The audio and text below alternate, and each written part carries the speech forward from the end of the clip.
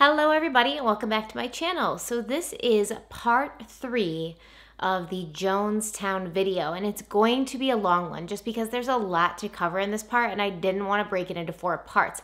I still might break this last part into two parts just to make the uploading easier but I will post them at the same time so that you can watch them and you don't have to wait. Okay, so let's get right in. If you have not watched parts one or two yet, please go ahead and watch those now. I'll put the link in the description. Just saying this, say nighty night and kiss me. Just hold me tight and tell me you'll miss me. While I'm alone as blue as can be. Dream a little dream of me. Okay, so remember Father Divine. We talked a little bit about Father Divine in the last part, and I think I told you a little bit about how Father Divine had been married to his wife.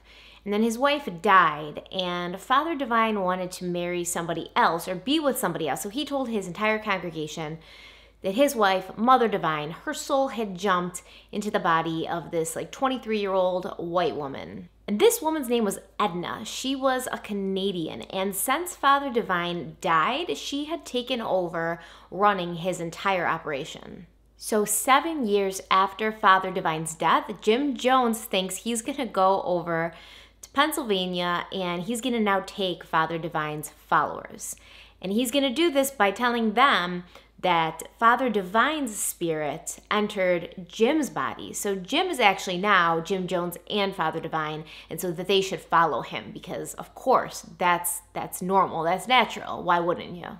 He took about 200 people and put them in his Greyhound buses and drove them down to Pittsburgh, where they went to Father Divine's congregation. And Jim was like, Hey, it's me, Father Divine. Let's, you know, restart what we had going on before. But I guess that these people weren't as stupid as Jim Jones thought they were, and they weren't having it. And neither was Edna, who had spent the last seven years, like I said, running this entire operation, and she knew it was a hoax. She'd taken part in the hoax when Father Divine had married her and said, his wife's soul was in this woman. So she knew he was full of crap.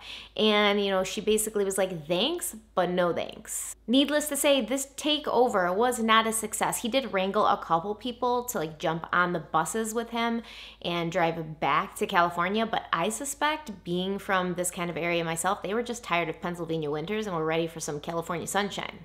Okay, so we know Jim Jones has an inner circle, people he trusts, people he sort of tasks with doing his dirty work for the most part, but he has an even tighter inner circle, and he calls this tight inner circle the Planning Commission. It was as if the more paranoid he got, the smaller the group of people that he trusted got. The People's Temple membership was growing into the thousands, and he needed these people. They were his lieutenants to send out into the masses and make sure everybody was doing what they were supposed to be doing. Nobody was feeling discontent. Nobody was talking about leaving. Nobody was talking against him.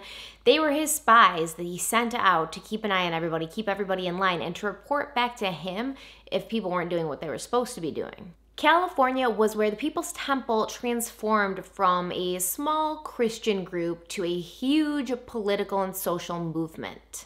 He incorporated the People's Temple, opening up locations in San Francisco and Los Angeles. The timing was perfect for somebody like Jim Jones to show up in a place like San Francisco. They settled in the Fillmore district of San Francisco, and this was a mainly black, poverty stricken neighborhood. Justin Herman, the head of the regional office of the Housing and Home Finance Agency in San Francisco, he had just gone on a rampage through the city, redeveloping the area and removing over 10,000 people, most of them poor and black, from their homes. The downtrodden, the people who had been removed from their homes without any notice or any care, they were feeling abandoned by the government and the people in power in San Francisco they were feeling like nobody cared about them. And then, of course, enigmatic Jim Jones walks on the scene to show them that somebody does. Jones' massive following and loyal following eventually brought him to the attention of San Francisco's elite, especially the politicians of the city. They could see the amount of power and control he had over people, and they recognized how much they could use that to their own advantage. As politicians typically do, instead of seeing thousands of people that were influenced that they could help, they saw thousands of people that were influenced that they could use. Congressional powerhouse Phil Burton could feel his mouth watering when he looked at Jim Jones and his multiple loyal followers. He set up a meeting between Jones and his friend George Moscone, who was running for mayor, and within no time, Moscone's campaign headquarters was staffed and run by 200 Temple members. Jim Jones even kindly arranged for buses of Temple members and congregates to be bused to polling locations so that they could cast their vote for George, sometimes even more than once, sometimes several times. Of course, the election would go in Moscone's favor, and he actually won the mayoral race by 4,000 votes. So it is widely believed and accepted that without People's Temple and Jim Jones, he never would have won that election. Now, of course, helping to clinch the race for the new mayor of San Francisco gave Jim Jones an ego boost that was already feeding a ginormous ego, and he never let George forget the help he'd given him in San Francisco. George Moscone was a good man and he really was what the city needed at that time, but Jim basically turned him into a puppet and he ruined him like he did everybody that he came into contact with. He never let this guy forget that he owed him a debt. He never let him forget that he was only where he was because of the help of Jim Jones. George Moscone basically started his time in office with a weight on his shoulders that represented a deal made with the devil. He made a deal with the devil and now he had to make good on it. Jones didn't feel like helping George win the race was enough of leverage on him, so he would actually like invite him to parties get him drunk, hook him up with women. And then the next day he would call him and he'd say, Hey, it was really great seeing you last night at this party. But by the way, that girl that you were with last night, she was actually underage. So essentially, I set you up and now I own you. In October of 1976, George Moscone named Jim Jones chairman of the San Francisco Housing Committee. And in typical Jim Jones fashion, Jim would start placing Temple members in positions throughout the Housing Committee and kind of even in other forms of government too, you know, because he had connections now. He could get people in where he wasn't able to get people in before. So he was placing people strategically throughout the political structure of San Francisco. So he would have his finger on the pulse of everything that was happening. It's actually brilliant. No one even knew it was happening until it was too late. He became known as a man who could fix elections, especially among the Democrats. He was very popular and widely used. Harvey Milk was a big fan of Jim Jones. Big fan. He once sent him a letter saying, Our paths have crossed, they will stay crossed. It is a fight I will walk with you into. Later, he would tell a friend who mentioned she'd had a strange experience with People's Temple make sure you're nice to the People's Temple. They're weird and they're dangerous, and you never want to be on their bad side. So it's pretty clear to me from that that he knew there was something off about these people, but he still publicly and privately supported Jim Jones and his followers. And Harvey Milk was a really impressive politician in his time as well. He did a lot for the community in San Francisco. So it's just crazy that these kinds of little tidbits, you don't ever really hear about Jim Jones, how popular he was among the political elite in San Francisco. Like, nobody ever tells you this stuff. I don't know if these politicians actually liked Jim or respected Jim or if they feared him, knowing his influence, that he would either make or break them. And their political careers were too important to kind of put personal feelings in front of professional ones. And as much as Jim loved his politicians' friends' letters and sweet nothings whispered in his ear, he didn't want their private affection and attention. He wanted their public adoration. He needed everybody to know that Jim Jones was an important person. So he actually threw himself a banquet in his own name threw it himself at People's Temple, and he like decked out the place with linen tablecloths and candles and a beautiful menu, and he invited all of San Francisco's elite, and they showed up. The DA was there, the ADA was there, the mayor was there, congressmen, lawyers, senators, everybody just filling up the People's Temple for their new buddy Jim Jones. Now, Willie Brown was a political force in his own right. He was a very important person, especially in African American history. Willie Brown would recover from his Jones fanboy status and eventually go on to serve as the first black mayor of San Francisco. He was San Francisco's mayor from 1996 to 2004. And he did a really good job as mayor. His tenure was marked by a lot of good things for San Francisco, such as real estate development, um, city beautification. He was around when the whole dot com era of San Francisco exploded. And you know, San Francisco and the Silicon Valley area, they're very much into that kind of stuff. But he did a really good job. And for somebody to be such a huge Jones supporter, because he was one of the biggest Jim Jones supporters that have ever existed even after Jim Jones started going downhill as far as his reputation, Willie Brown still supported him and spoke out for him. For him to go on to do so many good things and to become mayor after that, because I feel like that would have been political suicide at this point. You know, you're such a supporter of this guy and the stuff he ends up doing. But, anyways, at the time, Willie Brown was an assemblyman in San Francisco. He introduced him like this Let me present to you a combination of Martin King, Angela Davis, Albert Einstein, and Chairman Mao. Jim Jones.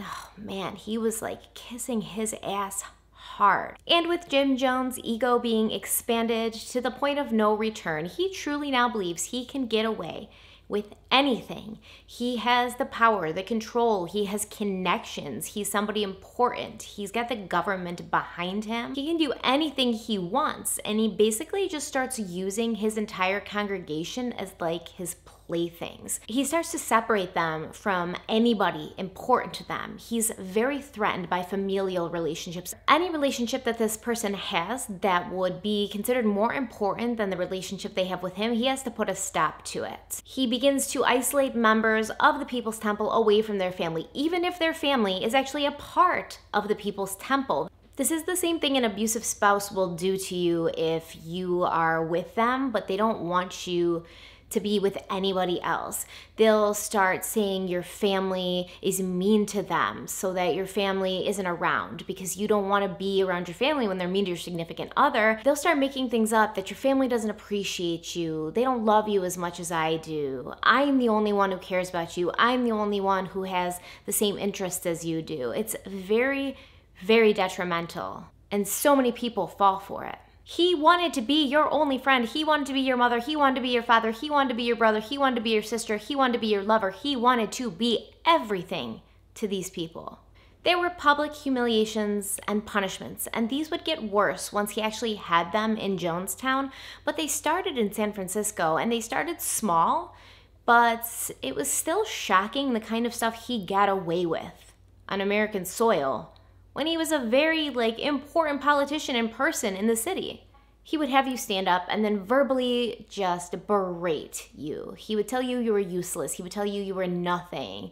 I don't understand why you're even here. There's no point for you. Just the typical verbally abusive kind of stuff that breaks people down. He would bring these people to tears. They'd be sobbing before he would walk down wrap his arms around them and say, This was for your own good. Father loves you. Don't worry, you're okay. This is such textbook abuse that you would see between a parent and a child, where you scream at them and you break them down and you make them feel like absolute crap. And then you're like, Sorry, but you know, I had to yell at you or you just were never going to understand.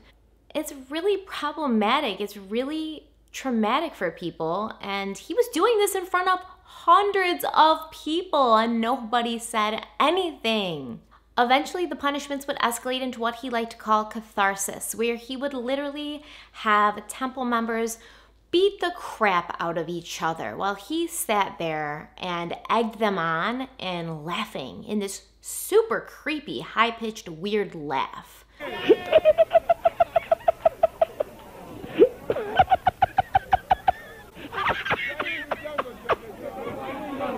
be like one guy, like, hey, you did something wrong, guy, and you stand here, and now I'm gonna have five or six people just beat the crap out of you while everybody watches. He would have boxing matches where he would literally put these on for entertainment, where somebody who'd been doing something wrong would be put in the ring and then just be allowed to be beat on by multiple people over and over again. And no matter how much he fought back or how much he tried to hold his own, it would not end until Jim Jones said it was going to end. And Jim Jones didn't say it was going to end until the person was beaten to a bloody pulp on the floor, basically. He made one woman strip down naked in front of the entire congregation and basically make fun of her and tell her she was overweight. And then he made her go and put her entire body into a pool of ice until he told her she could get out. This is dangerous. This is starting to mess with people's bodies as well as their minds.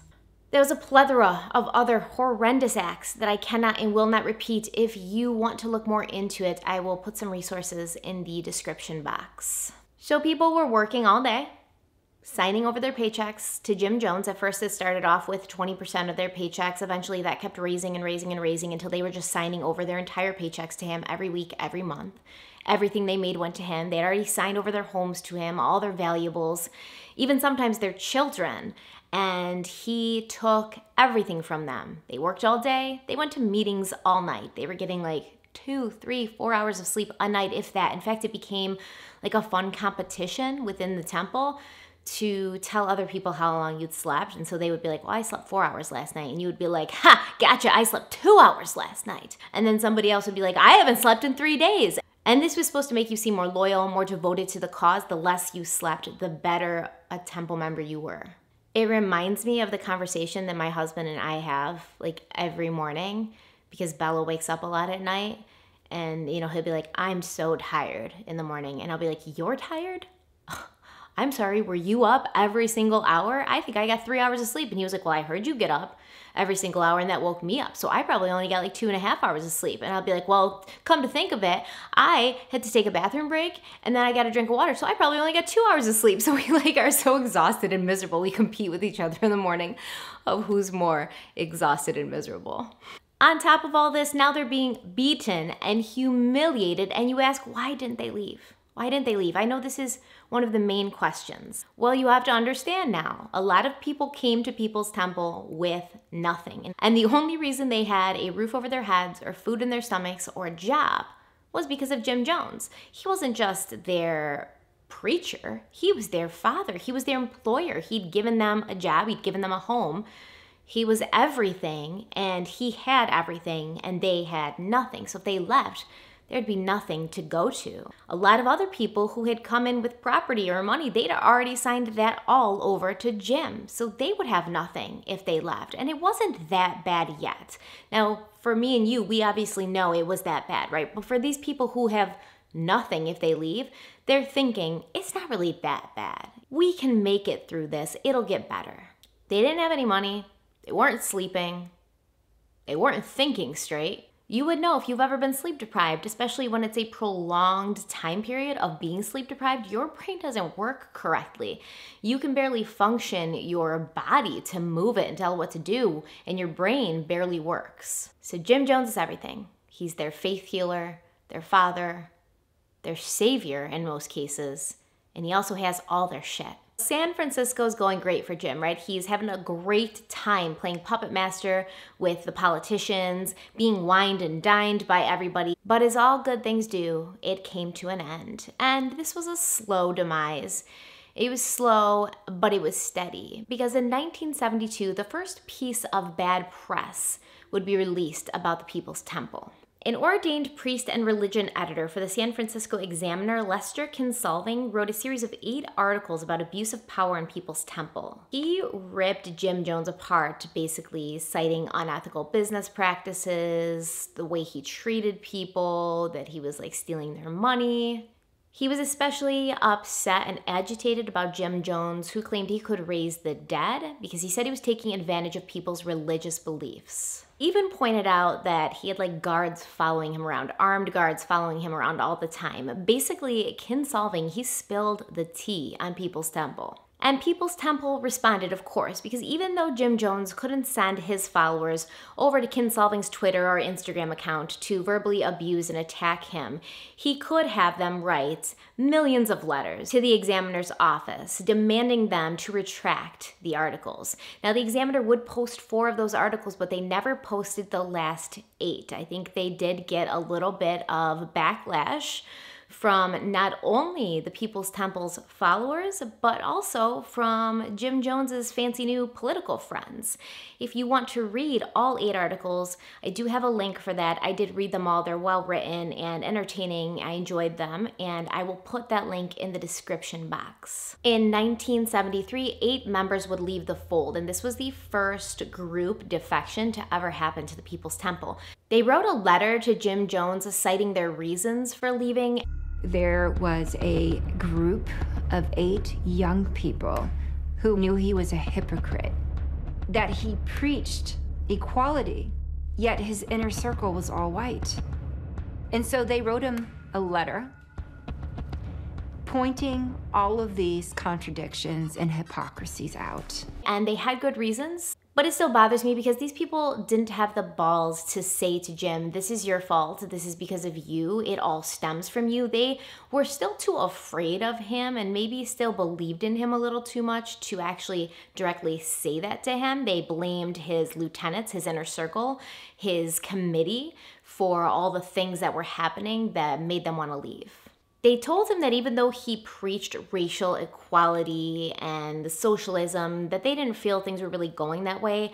Most of the people in his inner circle were whites. I think there was one black person as in, in his inner circle, so they were like offended by that. Obviously, if you say that you view everybody the same, why does it seem like the majority of the people that you trust and have around you are white, not black? Money talks just as much as outside of the temple walls. And if somebody would have an issue or they would say, hey, so and so gets to get away with this, why can't I? They would be responded to by saying, well, so and so brings in a lot of money. And when you bring in that much money, then you can do whatever you want too. They ended this extensive long letter, which I will also link in the description if you want to see it, but they ended the letter with The eight of us believe in historical materialism. We feel that you came to the people giving them the greatest reason to live, the greatest reason to die, the greatest reason to fight socialism. We have another name for it. However, you can't do it all. You can't move unless your followers realize the necessity to shape history themselves. This is again where the staff has failed. They are, to the most part, white, egotistical people maintaining a hierarchy, hierarchy, not allowing you to take the reins and go ahead full steam, holding you back, saying it's not time, having to be effed, degrading people, especially if they have a little knowledge about socialism, all this leads us to the conclusion that the staff is chicken shit. There is a point where you have to be cautious and compromise, yet there's a limit. We will not talk against People's Temple to anyone because of you and a few innocent people who may be hurt. You're the one that showed us the way. You're the one that boldly challenged capitalism and put a vision in our hearts. You're the one that proved to us that nothing is impossible. This is exactly how we feel. Nothing is impossible. So, once again, I recognize their bravery for leaving and for even saying anything to Jim because me, I would have just, I would have been out. I wouldn't have said anything. Nobody would have ever heard from me or seen me again. But they're still kissing his ass, right? They're still reinforcing his beliefs that he's right, he can do no wrong, he hasn't done anything wrong, and they're still allowing him to project all the things that he's done wrong onto everybody else. So after the eight members leave, the temple is aflutter with gossip, of course. Everybody's talking about it because they're bored and there's nothing else to talk about. And Jim's paranoia and anger and anxiety, they grow and grow and grow with every new whisper that he hears. He basically flipped out on his planning commission and said, This is your fault. First of all, you should have seen this coming. How did you not know that these people were feeling this way and that they were about to leave? This is your fault. You got to keep a better eye on people. So from now on, we're cracking down. There's not going to be one thing that happens in this place without us knowing about it. He had Carolyn Layton hand out blank sheets of paper to every single person on the Planning Commission and have them sign the bottom of it. Jim told them if they angered him, if they left, if they did anything wrong, he could just fill in the papers with whatever he wanted, any kind of confession, any kind of horrible thing, and they had already signed it, so they would be screwed. One of the members, Tim Carter, who was actually a survivor of the Jonestown Massacre, he said it just seemed like another test, kind of like the wine thing. It was just a test of loyalty. He didn't think that it would even be legally allowed in court, and it probably wouldn't have been, honestly. It was just kind of a mind test. But he just was like, whatever, we'll sign the paper. We don't think anything of it. It's just another one of Jim's silly little tests to see if we're loyal to him, and we are, so who cares?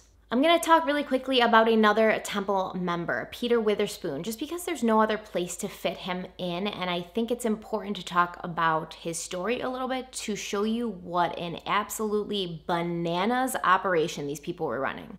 Peter Witherspoon was a known and convicted pedophile. He was allowed membership to People's Temple anyways, but they let him know that none of his shenanigans would be tolerated. So, first of all, just knowing that this guy's a child molester that he's a pedophile and you still are like, yeah, come in, just don't mess up, okay? Like, that's ridiculous. It's so irresponsible. And it just shows you how little Jim and even the people of his inner circle really cared about the other people and the children, the most vulnerable of the people in the temple. They didn't really care. Of course, Witherspoon would go on to lure a 10 year old boy into doing something with him that he shouldn't have been doing. And instead of handing him over to the police and letting them take care of it, People's Temple wanted to handle it internally. Often these kinds of places do. This is a trademark of cults. They handle their own stuff internally, kind of like the military. So he was brought into a back room and he was tortured. And I'm not going to say exactly what happened to him because, once again, it's not something I want to repeat. I will post a link if you're interested. But needless to say, the man was incapacitated for days and he had to use a catheter for quite a while. I'm a big proponent of children's rights and I detest anybody who hurts children, so I'm not really against what they did to Pedo Pete. But the fact is, this man should have been turned over to the authorities where he could have been taken off the streets. After they did this to him, they put him right back into the temple life. And I don't know if he went on to do anything again. I can only assume he did just because I know that somebody like this doesn't really get healed or get better, especially without therapy and medication and lots and lots of like watchful eyes. So it bothers me that they didn't turn him over to the police after they tortured him. Loyal temple members were also punished for perceived wrongdoings. A woman named Lori Ephraim, who came to People's Temple really quiet, really meek, she was treated so badly by Jim Jones, and I don't know why. One day, during a normal, late night, exhausting PC meeting, Jim Jones was going on and on about how the sexual demands that had, you know, been put on him were getting to be too much, that it was just too much for one man to satisfy all these women. And for some reason, he asked for everybody who was in the room to raise their hands if they'd slept with him. So a lot of people in the room raised their hand, right? But not Lori because she hasn't been with Jim yet. But most people thought that she had a crush on him and, you know, she wanted to be with him. And he singled her out and he was like, Look at Lori. She's been hitting on me for months. She's coming on to me all the time. I'm exhausted. And he was like, What do you think you have to offer me? Take your clothes off. So he made her take her clothes off, get completely naked in front of the whole planning committee. And he then simply said, If I had a list of people I didn't want to sleep with, you would be at the top of it. And then he made her sit there the entire rest of the meeting naked, just standing there naked and the meeting went on for several more hours. A few days later, one of the inner circle would approach Lori and say, You know, sorry about that. Jim feels bad, but he really had to do it. Like, it's for your own good. And Lori was just like, No problem. It's okay. I understand. Even though a lot of people were appalled by the treatment of Lori, who was a really unproblematic person in the temple, they thought that Jim had the weight of the world on his shoulders, and if he had to blow off steam this way to make him feel better, it would make everybody's life better. And that was just her her service to give to Jim. Every time he would pull a stunt like this and the stunts would get crazier and crazier, I really think he was just waiting for somebody to be like, enough. This has gone too far. Nobody ever did. He never stopped. And he really began to believe once again that he could get away with anything, even murder. I think he began to believe his own lies that he was truly God. The next story is one of those How the Mighty Have Fallen stories. So in 1973, the LA Police Department had gotten a lot of reports of gay men hanging out in certain areas, trying to solicit other men for sex. So the specific areas were MacArthur Park and the Westlake Movie Theater. Both of these areas were about a little bit less than a mile from People's Temple in Los Angeles, their Los Angeles branch, because they're incorporated now. The police department began sending plain clothed police officers undercover to hang out in the park and the movie theater and see if they could catch somebody doing this, because this is illegal And it was illegal then, it's still illegal now, and I guess it's a big deal then, especially. So they wanted to hang out and catch these people doing it. So one day, this undercover officer, he's just sitting in the balcony at the Westlake movie theater watching a movie. I think it was Dirty Harry. And a guy, like a single guy that's just standing over there, kind of like beckons to him. And so the police officer gets up and walks into the bathroom, and this guy follows him. This man then proceeds to pull down his pants and participate in an act of self love in front of the undercover police officers. So the man's obviously arrested, put in cuffs, brought to the police station where he is then charged with lewd conduct. This man was Jim Jones he's in a little bit of hot water, right? But he's not worried. He's not bothered. He's Jim Jones. He goes to his doctor and he gets a note saying that he has an enlarged prostate. And in order to reduce the pain and pressure from this prostate, his doctor told him to jump up and down and run in place often when he's having problems with his large prostate. And that's what he was doing when the police officer saw him. Not the other thing, he was just running in place to help his prostate. A week later, an LA judge agrees to dismiss the case. Well, now Jim wants the record sealed, right? He doesn't want anybody to ever know this happened. And at first, they're like, no, you're not a minor. Only minors can get their records sealed. But he brings Tim Stoen in, his super strong legal counsel, and Tim Stoen fights and argues to get these record seals. And somehow, I'm not sure, but the same judge who agreed to dismiss the case also agreed to have the records destroyed. I guess this is what happens when you have friends high up in the political world who you've helped win elections, I guess you just get off of every charge. it was really bad wording. But, anyways, the police officer who caught him and arrested him was kind of pissed and he was like, No, I know what he was doing in front of me. He was not jumping up and down, he was not running in place. I know what he was doing. And he, like, actually filed a complaint to have this whole charge brought back and he was declined. So, a combination of losing followers, the article in the Examiner, all this legal stuff going on, it made Jim feel more and more like they needed to go someplace else.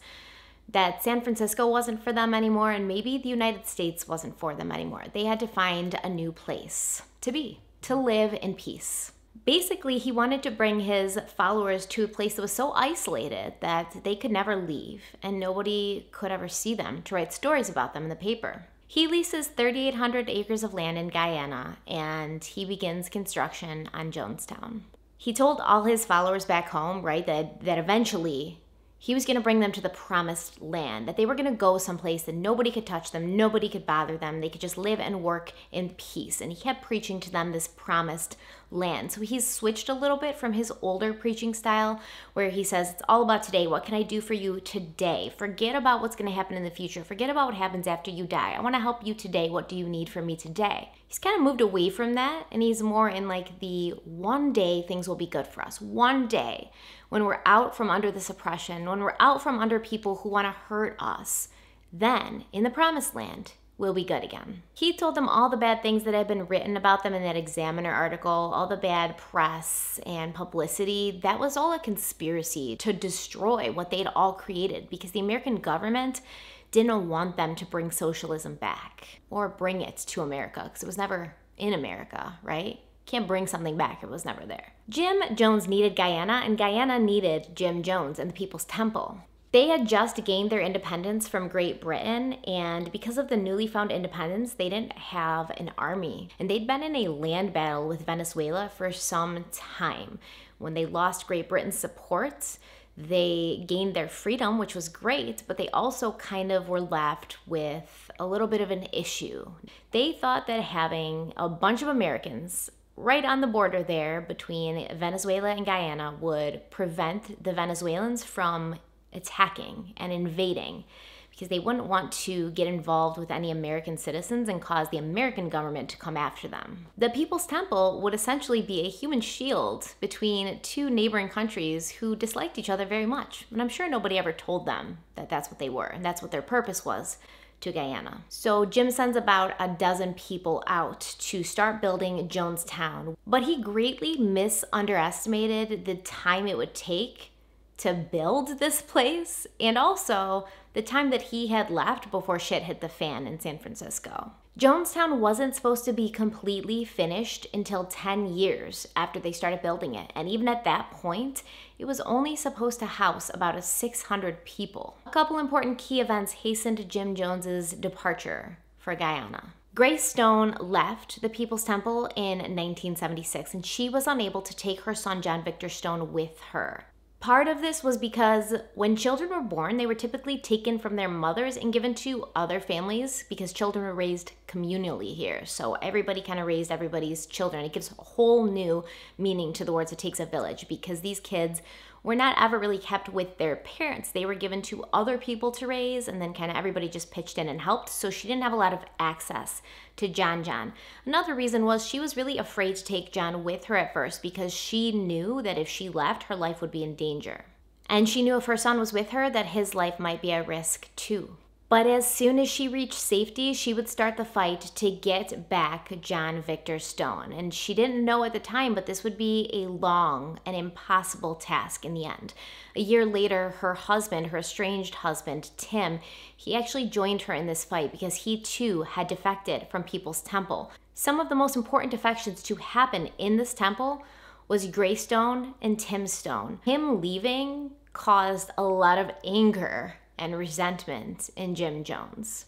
With Tim Stoen's help, because he was an excellent lawyer, Grace finally regained custody of their son. But by that time, Jim Jones had already spirited him away to Jonestown in Guyana. John Victor Stoen would never leave Jonestown. Joyce Shaw, another Temple member, would also defect in 1976. After the whole poison in the wine thing, she didn't really find that funny and she wasn't really feeling the whole People's Temple vibe anymore. She made her plan to go to work, leave directly after work, get right on a bus, and get the hell out of Dodge. When she got to safety where she was going, she called her husband, Bob Houston. She'd left him behind as well as his two daughters, and she begged him to come and meet her. She didn't find out until later that the line she was calling him on was bugged by the People's Temple, and they heard every word she said to him and every word he said to her. Within weeks, Bob Houston would be found mysteriously dead. Apparently, he'd fallen asleep on some railroad tracks and been run over by a train. I don't know how probable that sounds to you, but that's what his cause of death was. Of course, Joyce Shaw believes that his death was the work of the People's Temple, who were punishing her for leaving and making sure that he never would. She returned to San Francisco, and with the help of Bob's father, who was a photographer for the Associated Press, they would get the word out. And Bob's father actually knew Congressman Leo Ryan, which is how he initially got on the scene of Jim Jones and the People's Temple. On August 1st, 1977, an article was written by Marshall Kilduff and Phil Tracy and published in New West magazine. With the help of 10 previous members, including Grace Stoen, the writers pieced together what was really going on behind the scenes of Jim Jones's church. It ended with a very compelling argument of why we should be investigating and looking into Jim Jones and the People's Temple.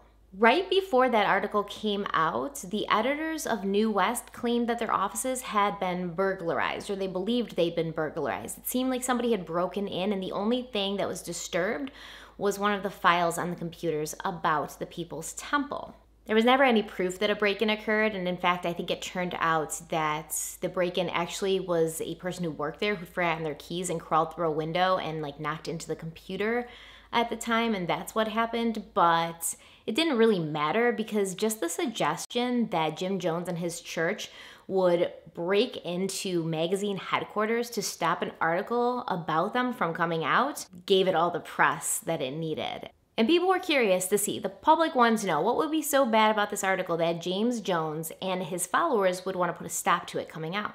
When this article hit, it was huge. I mean, a lot of politicians who had previously thrown their support behind him kind of shut up, except for Willie Brown, who was still on Team Jones. Add to that Grace and Tim Stoen's very public custody battle because Tim Stoen wasn't backing down and he was basically talking to anybody who would ask. He was telling everybody everything they wanted to know. Everybody was talking to the press, everybody was making it as well known as possible what was going on. So before the article even came out in New West Magazine, Jim knew it was coming out. He got on a plane with John Victor Stoen and he flew to Guyana and went to Jonestown and he brought along with him like a thousand people. So Jonestown wasn't even built at this point. Really, they maybe had a couple houses up, but it took them six months to just build a road through the jungle so they could get cars and supplies and machines in to even do the building. They had to deal with that first. Then they started building the whole town, and then all of a sudden Jim Jones shows up with a thousand people, far more than Jonestown could ever have housed or fed. He brought with him all of his children and Carolyn Layton, his right hand lady, but he left Marceline back home in San Francisco and he said, You need to run things here. I don't need you in Jonestown. I just want to make sure like things are still okay here. A group in the United States begins to form called the Concerned Relatives Group. This group consisted mostly of former temple members, critics of Jones and the People's Temple, and former politicians who didn't either like him anymore or had never liked him to begin with.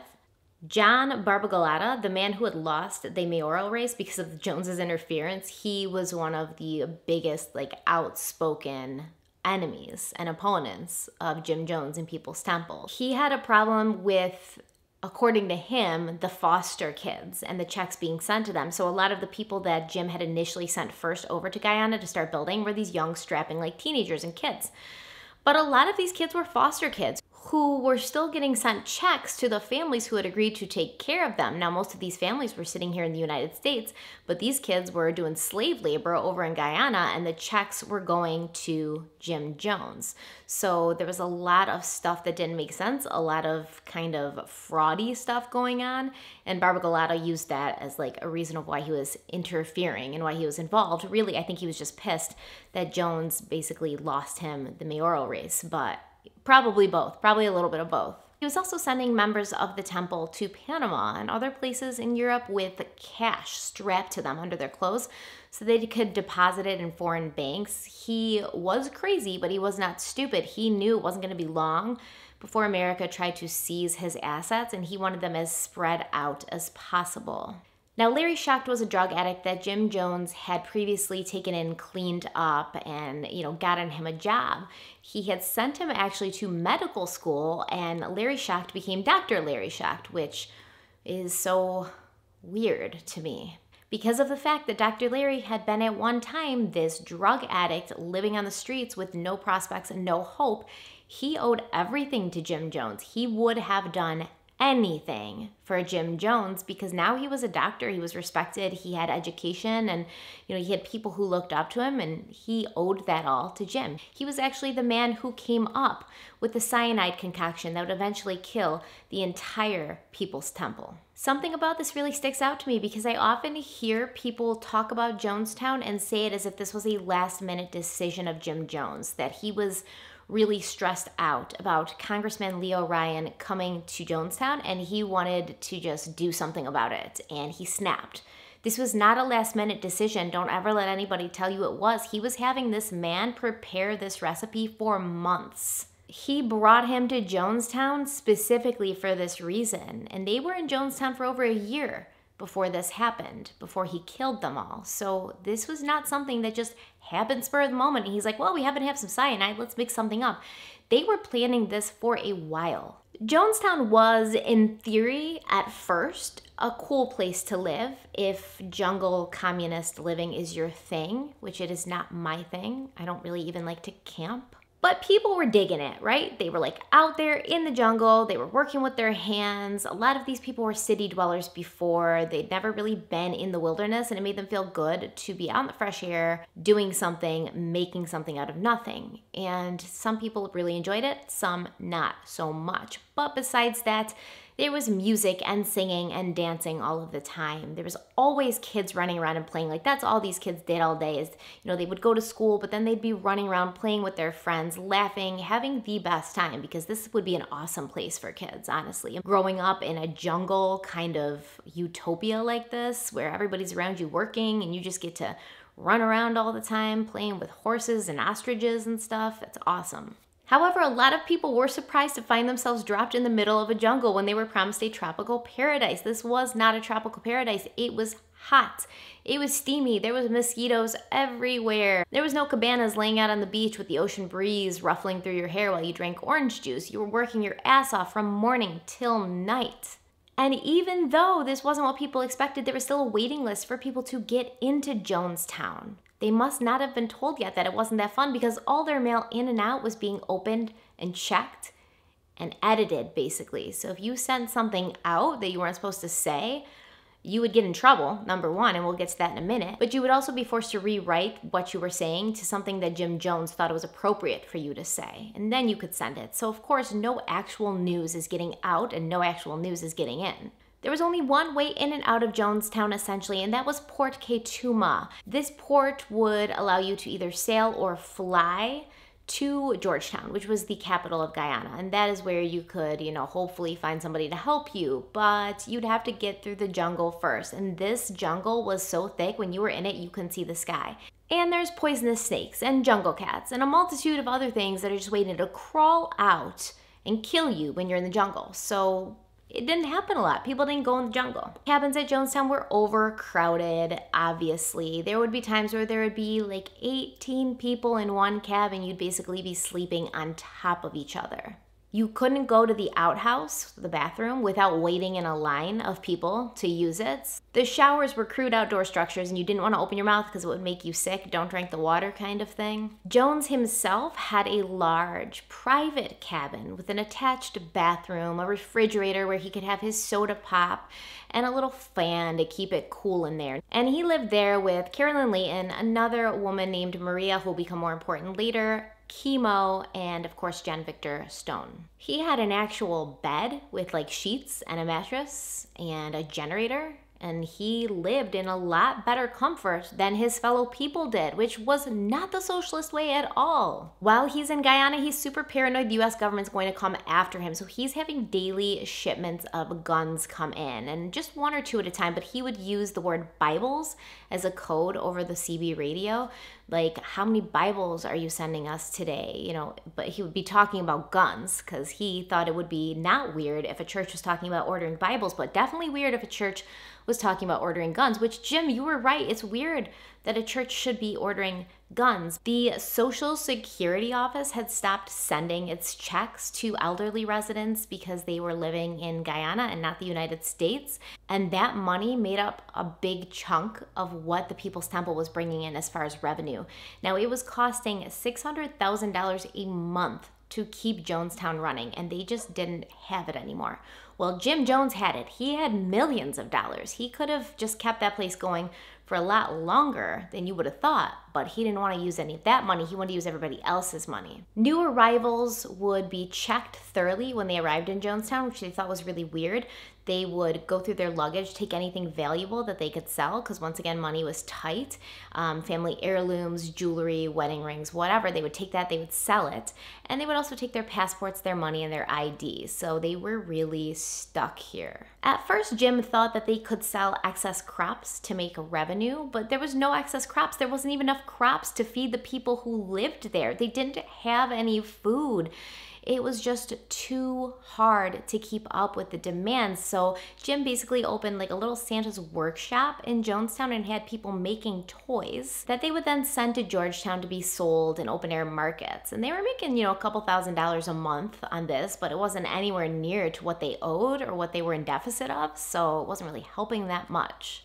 The place was rigged with loudspeakers, and sometimes it would be playing music like Earth, Wind, and Fire, or something jazzy but not too crazy. Most of the time, though, it was just Jim ranting and raving through the loudspeaker, elaborating on what he had talked about at a meeting, or just sometimes playing a recording of himself talking because he was too drugged up or tired at this point to even get on the loudspeaker and talk.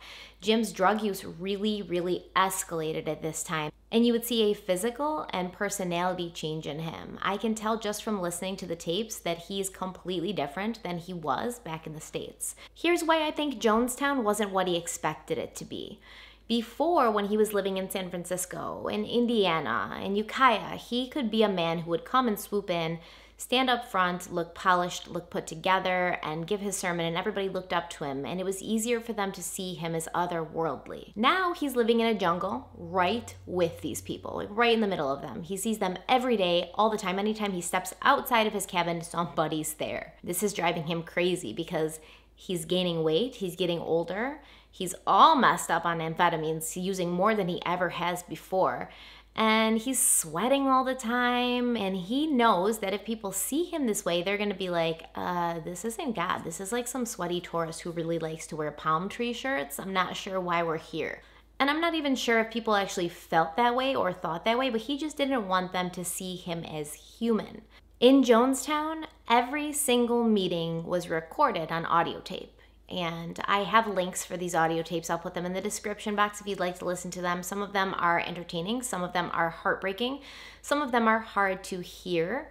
Some of them have a quality that's not so good, but if this is a subject you're actually really interested in, I do suggest listening to all of them, but be careful because there's a lot of stuff in there that if you're sensitive might upset you. I can hear the progression from when he preaches in San Francisco to when he's preaching in Jonestown he sounds exhausted. He sounds defeated. He sounds like me when I talk to my kids after I've been working all day long and I haven't slept at all. And Aiden's just like talking to me about Pokemon or Minecraft, and Bella's just like yelling at me that she wants a popsicle. And I'm just like, I can't do this anymore, guys. I can't do this anymore. I'm so sick of it. Like, he just sounds exhausted. He sounds over it. He sounds like these people are a burden to him rather than his loved ones, who he's their father and he'll always be there for them. And this is definitely a parental dynamic, right? That's how you get with your kids sometimes. But these aren't really your kids, they're adults. You're an adult. And the way he would talk to them, I'll play you a little bit, but the way he would talk to them would just be like, I'm so sick of this shit. And he literally says this, like, I'm so sick of it. I can't do this anymore. I hate these meetings. Okay. Give it to her. Give it to her. Give it to her. I'm sick of this shit. He's cracking. He's not happy here. He's becoming depressed. He used to be happy when he had the opportunity to grow and change in the States. He could get more people to come with him. Now he's in the jungle with a bunch of people he's already gotten, and what's the point? He's like bored now. But that's what I hear and that's what I sense. And I spent a lot of time with this guy over the past couple of weeks. I spent a lot of time listening to these audio tapes. I spent a lot of time reading everything he said and written. And I definitely can tell you that I believe that's exactly what he was feeling. Just depressed. Like, what's next? Is this it? This is it? He didn't want a socialist paradise. He wanted to be important and be somebody that everybody looked up to. He didn't want to be as somebody who just worked alongside with his people they already looked up to him. He didn't have anything else to achieve. He didn't have anybody else to get. He's in the middle of nowhere with a bunch of people who are already indebted to him, and now he's like, what's next? So the punishments in Jonestown become meaner and more targeted, more malicious than they were before. There's a box called the box that they would put people in. It's like an isolation chamber that they built for people, and they would just lock people in there. There was a pit in the ground that they dug, and they'd throw people in there if they misbehaved. Then there was, of course, the public humiliations that kept going on and just getting worse and worse and worse. And what bothers me the most about these humiliations that happen in Jonestown is I feel like these people who came with him, they're going just as crazy as he is. They actually start taking part. They're laughing at times at these poor people. There's a woman who's deathly afraid of snakes. And they take like an anaconda, and Jim makes her hold this anaconda, and it's like wrapping itself around her, and she's literally losing her mind. Like her voice, it sounds like she's gonna lose it. She's breaking, and all these people are laughing and yelling at her, and like, now you're not gonna do this again, are you? Like, apparently, this is not the first time they've put this snake on her, and she has this reaction every time. And Jim is like, You have this reaction every time, and nothing ever changes. I'll play a clip for you. He wants to choke her to death. That's his business tonight. I'm tired of it.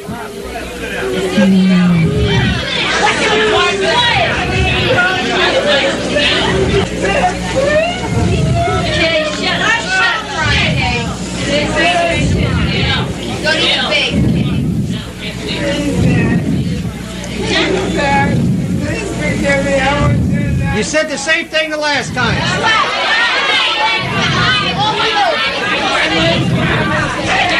This is the next. Turn around, look at the people. Turn around, look at the people. Talk to them. See if they to get the snake off your back. I apologize. I definitely promise I won't do it again. I definitely promise I won't do it again. Please, please forgive me. Please forgive me. I won't do it again. I really promise. American. She, nothing else works for this woman. Did this only lasts six, seven days. If we fed it to her, maybe it might, that might work. I don't know. Okay. Okay. Turn around. These people are getting in on it, right? They're laughing. They're like having a good time. This is the mob mentality. These are not the same good hearted people they once were. They've warped and become something darker because of Jim Jones. So he would do a lot of these punishments at these night meetings. These night meetings would last for hours. So people would get up at 6 a.m. and they would work all day long. They'd get up at 6 a.m., they'd have breakfast, which was rice. Typically, that's all they ate in Jonestown was rice because they couldn't afford real meat or protein. And he knew that people needed energy because they worked a lot. So rice it was with like some watery gravy and some like meat pieces. Who even knows what those meat pieces were? After breakfast, they would work do whatever they were doing until about six. Then they would have dinner, and then they would get to maybe go wash up or something, and then they'd go right to the pavilion. And it's this open air pavilion where they have all their meetings, and Jones always addresses them. It's got a tin roof and a raised platform, and while everybody sits on long, hard benches on the floor, Jim Jones sits in his lawn chair throne on his raised pedestal and he talks to them for hours. So they get there, it's like 6:30 probably, and he will talk to them until like 12 in the morning after they've worked all day. People are exhausted, and eventually so many people get to Jonestown, there's not even enough room for them all to sit on the benches, so some of them have to stand. People are like falling asleep, and he carried this big gun around with him most of the time, and if people would fall asleep, he would shoot it in the air, and when they would wake up startled, he'd be like, "You awake now? You paying attention now?" He's crazy. Most of the time, they were not getting to sleep till 1.32 in the morning and then waking up, like I said, at 6. And this would happen day after day after day. Hard work, listening to Jim Jones talking over the loudspeaker constantly, listening to Jim Jones talk some more for six hours a night, and then you maybe get to sleep for three hours or four hours before you're woken up to do it all over again. And you wonder why these people went absolutely insane and never questioned what was happening. They were sleep deprived. They were inundated by his voice and his presence and his face almost 24 7. Even when they were sleeping, he played these things over the loudspeaker. This is absolutely torture.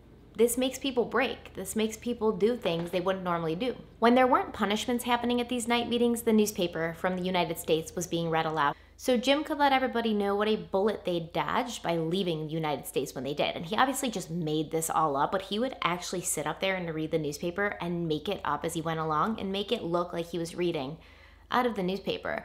So he'd tell people that the KKK had taken over. Even their kids were wearing white hoods now. They were putting black people into concentration camps, and it was horrible. You're so lucky that we don't live there anymore. We got away just in time. Jim Jones, when he arrived in Guyana, expected he would have regular contact with the prime minister, you know, like important leader to important leader. But when he didn't have that kind of contact and he was shoved off and the deputy prime minister Ptolemy Reid, he was like pissed off. He felt disrespected and he also thought maybe the prime minister's working with the United States against me. Maybe they're in collusion and that's why he won't see me. At one point during an especially tense time in the custody battle of John Victor Stoen, the courts had basically ordered that Jim Jones release John Victor back to the custody of his mother and come to the United States and handle this. And he didn't want to, obviously. And then at this point, he found out Ptolemy Reid, the deputy prime minister of Guyana, was in the United States and he put two and two together in his head. So he thought in his paranoid head, well, nothing happens without me, Jim Jones, being involved. So he must be in the United States working with them to try to like catch me up. So we actually did come to believe that the Guyanese government and the American government would be working together and that they were hiding in the jungle, like armed soldiers hiding just out of sight in the jungle, waiting for the right moment to attack and come in. And he told everybody this, right? He said, they're going to come take us. They're going to kidnap our children and kill our children. They're going to take John Victor back to those horrible people, Tim and Grace. And people had started calling John Victor the child god in Jonestown. This is what they referred to him as the child god. So they wanted to protect him just as much as Jim Jones did from being taken. So when Jim Jones told them there was people out there with guns waiting to come and attack them, they were like, okay, what do we do? Jim Jones actually had his son go out into the woods and shoot at him from the woods so that people would think that there was really somebody out there. But he didn't tell anybody with him that his son was shooting at him. It was his son and not an actual enemy. So a couple of his bodyguards actually fired back into the woods and could have killed his son because he's an idiot. So one day everybody's doing their normal thing, out working, and there's this huge announcement over the loudspeaker like, emergency, get back, quick, quick, quick, they're coming, it's happening, and everybody freaks out and they like get back to the pavilion. And that's when Jim Jones and his cronies start handing out guns and basically saying, like, here you go, these guns, you know, if somebody comes out to attack us, you need to shoot them. And these are people that have literally never held guns. These are people that didn't even know there was guns in Jonestown. They were like, where did these guns come from?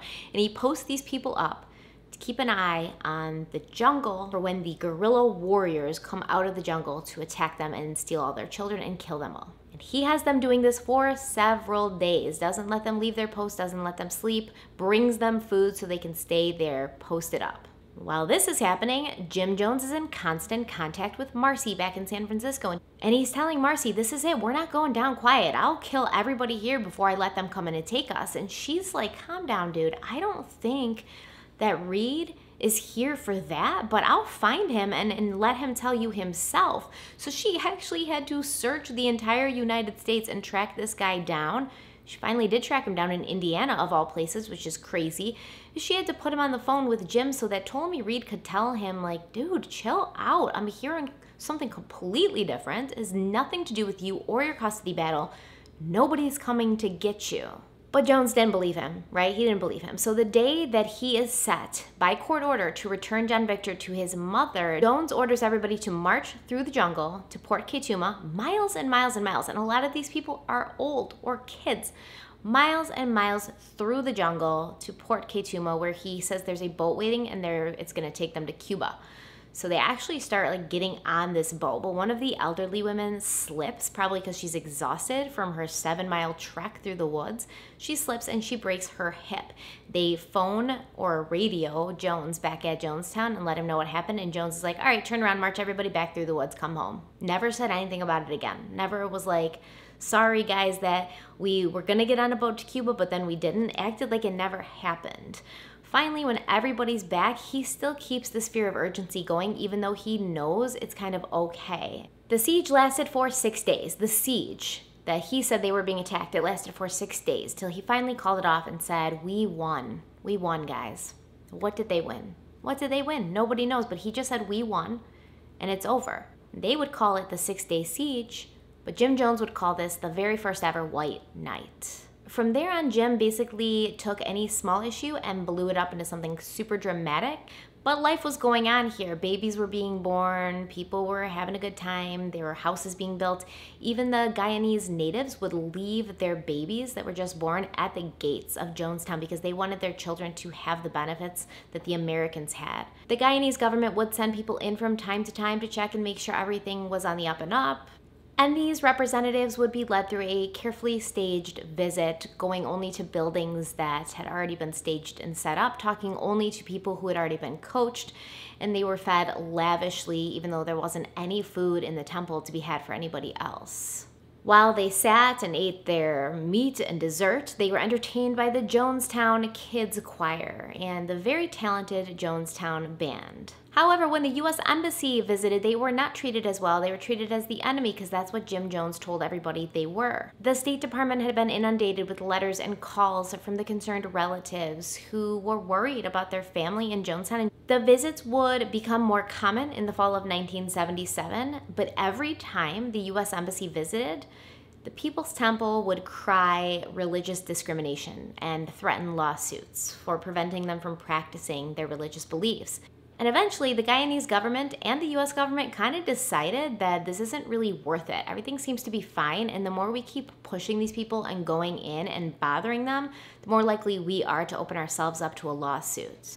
But Congressman Leo Ryan was not convinced. He didn't necessarily believe that every single person who lived in Jonestown wanted to be there. He talked extensively with a lot of the previous members, as well as Grace and Tim Stoen, and the stories that they told him didn't really jive with what everybody else said was happening in People's Temple at that time. He wanted to see for himself. That was the kind of person he was. He was kind of like a badass. He needed to see for himself if there was people that needed his help and if there were people that needed his help he was going to help them. And grace and tim were still fighting so hard for the return of their son. There was a lot of resentment in tim from everything that had happened. He had actually looked up to jim at one point. He actually believed in him at one point. And when he saw that jim wasn't the guy that he thought he was he was just a human he was pissed. He resented him. Not only did he want his son back, but there was an old and bitter resentment that had built in Tim once he had seen Jim Jones for who he truly was. Not God, not a prophet, not superhuman, just a mentally ill man who had used his power and persuasion to destroy his marriage, his life, and sleep with his wife. The defection of Tim Stoen and his following legal battles gave Jim Jones a face to put on the unknown enemy he had before been dangling in front of his congregates. Now they had a face, they had somebody that they could hate. He blamed Tim for all the past things they'd had to endure, all the punishments, all the really bad protocols and programs that had been enacted had been Tim Stoen's fault. And during one of his extended night meetings, he gave everybody a piece of paper and had them write down how they would kill Tim Stoen when and if they had the option to. With everything going on, Jones began to set the groundwork for the final White Night. Now, these people had endured White Night after White Night. This was always a practice suicide of some kind. I think that I read they went through something like 82 White Nights in a year before the final one. 82 in a year. That's several times a week they were being prepared and almost put through the routine of expecting this to happen. So that when it did happen, it was just part of the routine for them. This was just what they did. The final white night, though, was when he planned to end everybody's life. So he would up the occurrences of the White Nights, keeping them on their toes. Every so often, he would sprinkle in the idea of mass suicide see how they reacted to it. It started off just as like a general, you know, would you rather like die or have our kids taken from us? Wouldn't it be better to just kill ourselves rather than to let them kill us? Wouldn't that be better? So he would start off kind of just generally like that see how people would respond, see what would happen, what they would say. And then eventually, at one of these white nights, he brought out vats of this dark red liquid and he told everybody to fill up a cup that there was poison in the liquid and within 45 minutes they would be dead because they were coming for them. It was happening. It was happening now. We have to do this. Now, understand there had been a lot of people who were part of his California, you're poisoned, JK, you're not poisoned kind of thing, and they had told people. So, a lot of these people drinking the liquid willingly were just assuming it was another practice test. And it was just a test because after they drank it, Jones proudly proclaimed, This was just a loyalty test you all passed. Thank you so much. You're amazing. You can take the rest of the day off and relax now as a reward for your loyalty in drinking poison that would have killed you. Everybody who's exhausted and just kind of like mentally upside down right now, just they stare at him blankly and they're like, What just happened? And then the next morning, Jones once again hands out paper because he wants them always to do essays. He wants them always to write essays. He hands out all this paper, even though there's no paper for toilet paper. He hands them paper and he says, Write what you would have felt and what you would have done if last night had been the last white night. So he's literally indoctrinating them at this time, like just getting them ready for the time where he actually pulls this. And they're being so twisted in their brains, they don't even know what's happening. Even though this seemed like just another game to Jim Jones, it wasn't a game. He took this very seriously. He took it as a confirmation that he could, in fact, pull this off at a mass level, and he would forever be remembered not as a failure who had been able to pull off a social paradise in the jungle, not as a bandit on the run from the US government, but as a great man who'd made the grandest sacrifice by giving his life and the life of his people for his cause. That night, Jim Jones had Larry Schacht order a pound of cyanide for the amount of $8.85, and this was enough cyanide to make 1,800 lethal doses. All this time, he's not telling people that his end goal is to have them die. He's telling them that they're in talks with Russia. They're talking to Russia. Russia's going to let them move there. This whole white night thing, it's a last resort. But don't worry, Russia's definitely going to let us in. Now, in fact, they were talking to Russia but Russia had no interest in letting them in. This was a game to Russia. Russia thought they were funny. I mean, there was actually a Russian diplomat who visited the compound and was like, You guys are way more socialist than we even are. We should take note from you. We should learn from you guys how to be socialist because of how serious they were about it. The Russians kind of took it as a joke and they weren't going to let them in to Russia because if they were, they would have. They would have told them yes and they never did. They kept asking, Can we go to Russia? Can we immigrate there? And they were just like, Well, we're still waiting to hear back about it. It was just to put them off. They never planned on letting them live in Russia. They didn't want these crazy ass people living in Russia. They were like, You're more communist than we are. Tim Stoen is hitting the temple with lawsuit after lawsuit after lawsuit. Like he's not giving up. He's not backing down. He's just going to try to smoke Jim Jones out. Jim Jones can't go back to the US to handle these in person like he's supposed to, or he'll be arrested. But he can't not address them because not addressing them will also put a warrant out for his arrest.